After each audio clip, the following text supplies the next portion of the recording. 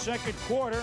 Lamar Smith takes the pitch, runs right, stacked up for a four-yard loss. Todd and Let There Be Light made the hit.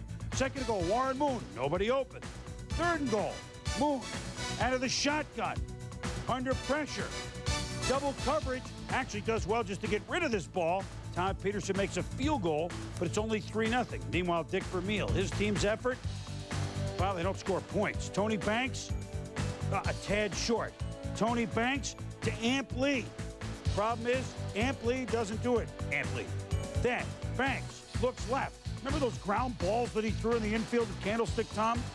Well, if there were dirt here, that would have been four to three. 78 total yards, three first downs in the Rams' first half. 3-3, though. Seahawks driving. Moon in the shotgun.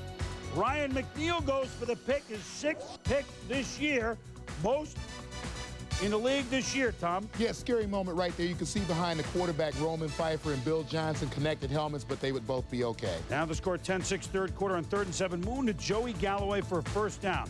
Second and 15. Moon reads the blitz, dumps it off to Chris Warren. Where's the defense? Slides into the two-yard line of first down. First and goal. As they backed up a little bit, Steve Broussard sprints left, and he's in the end zone. Guy averages about 10 yards a carry. 17-6 Seahawks. Banks under pressure. Chad Brown hits it in the air. Where is it? It accidentally goes in the air, and Bennie Blades picks it off. Seahawks. Wasn't pretty.